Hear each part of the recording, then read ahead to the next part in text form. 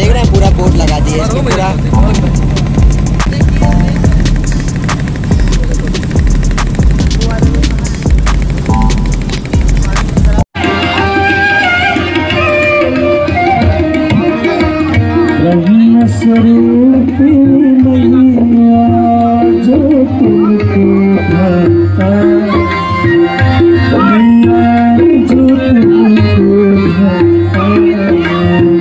Mm-hmm.